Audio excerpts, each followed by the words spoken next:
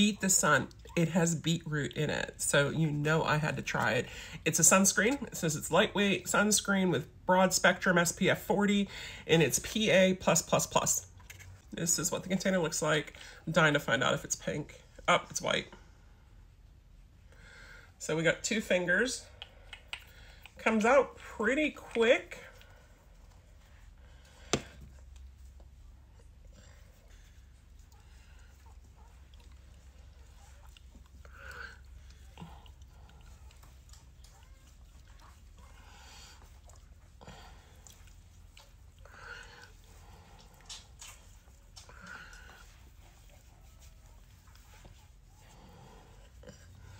Well, no white cast.